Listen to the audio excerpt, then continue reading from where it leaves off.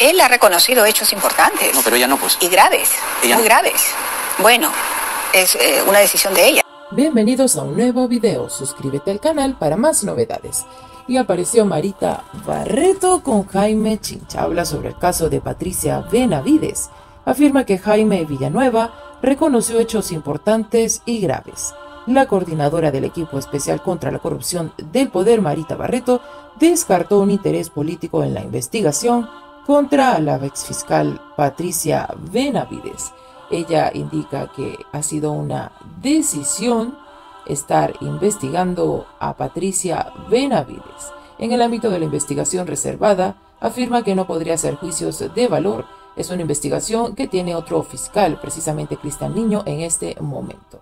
La fiscal superior además agregó que hay muchas más evidencias que alcanzó fortaleza en el proceso que tiene a cargo la fiscal suprema Delia Espinosa para investigar la presunta organización que habría sido encabezada por Patricia Benavides. Barreto descartó que la investigación que involucra a la exfiscal se haya dado por presuntos intereses oscuros, como señaló en su momento la exfiscal de la Nación. Nunca hubo un interés de mi parte o de algún integrante del equipo especial. Nosotros somos coordinadores, es lo que indica. También reveló que antes de que sucediera la crisis en el Ministerio Público, Benavides y ella trabajaron juntas y que una vez su colega asumió el cargo de fiscal de la Nación, le planteó un eventual ascenso. Es decir, gracias a Patricia Benavides, ella está donde está. Yo no puedo hablar por ella. Ella está ejerciendo su derecho de Pero me defensa. decía Villanueva. Villanueva ha reconocido hechos muy graves.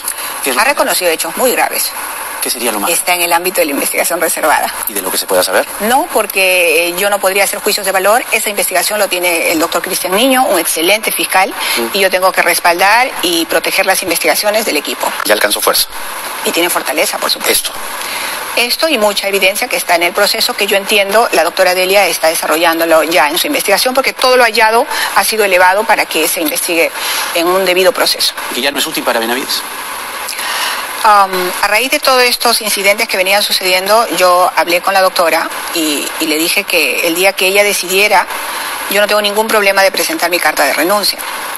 Eh, me dijo que no, que quería trabajar conmigo. Es más, me propuso ir de fiscal suprema adjunta a, a su despacho, ¿no? ¿Por qué no aceptó? Eh, porque yo en ese momento ya habían, digamos, sospechas en la investigación que tenía a cargo el fiscal provincial a cargo de esa investigación, de que habían cuestiones que, que no, no, no ameritaba. Entonces sentí que no era porque yo tenía que ir a trabajar o a cumplir funciones como fiscal de la Junta Suprema, sino sentí que querían deshacerse de mí. Entonces sentí Ah. que no eran las formas. Ah, o Por eso es que yo le dije, doctora, cuando usted me diga, yo presento mi carta de renuncia. ¿Y ella? Dijo que no, que más bien quería que yo la acompañe allá. Entonces, entonces yo dije, bueno, parece que no quiere tenerme aquí, pero ya estamos hablando de unos cuantos meses atrás, ¿no? Sí. Eh, finalmente no, no quería una renuncia, sino quería pues un ascenso, ¿no? Quería que yo salga de ahí, pero con un ascenso. Yo presumía que por los, por los cuestionamientos que tuvo el tema de la doctora Revilla, ¿no? Que, que también fue un tema que la cuestionaron duramente por eso, y pienso que no quería repetir la misma historia. Eh, finalmente mm, no tengo ningún problema de sentirme preparada para asumir eh, un cargo más, pero percibí que las cosas no eran por eso.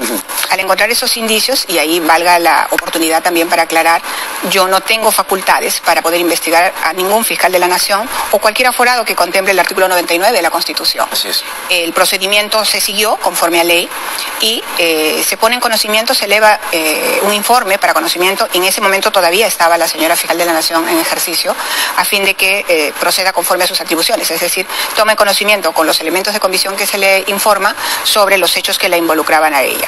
Y lo, lo que corresponde es el fiscal que esté a cargo en ese momento darle trámite al mismo para que se aperture una investigación y se desarrolle. Ahora- Lo he dicho ya en alguna oportunidad cuando era acusada de que habían intereses oscuros tras la decisión de investigar, lo cual eh, es falso. Nunca ha habido ningún interés mm, de mi parte o de algún integrante de- del equipo especial, muy por el contrario, siempre actuamos y venimos actuando en, en correspondencia a la Constitución y a la ley. Nosotros somos coordinadores de un equipo especial para perseguir la corrupción, caiga quien caiga y no es cliché. Y como lo dije cuando la primera vez que eh, asumí las funciones, dije que en el Perú corrupción nunca más y me refería a que eso implicaba todos eh, los riesgos que hemos venido asumiendo posteriormente. En este caso eh, no hay ningún interés político, no tengo ningún, nosotros no somos políticos, apolíticos, así tenemos que ser los fiscales. Tenemos que defender la institución y sus funciones, tenemos que defender la autonomía y la independencia de los fiscales y eso es lo que hemos hecho. La señora lo dijo ante el Congreso el 5 de diciembre pasado. Sí. Y fue lamentable para mí porque eso no se ajusta a la verdad. A ver, voy a explicar el tema de la resolución que por mi culpa se archivó una investigación de los congresistas. Y eso lo he dicho incluso cuando salía a dar mis descargos ante un medio de comunicación. Eh, primero, que no me pueden pedir a mí una información que no tengo. ¿Y por qué no lo tengo? Porque nosotros no investigamos ni a congresistas ni a presidentes, no, no investigamos a los denominados aforados.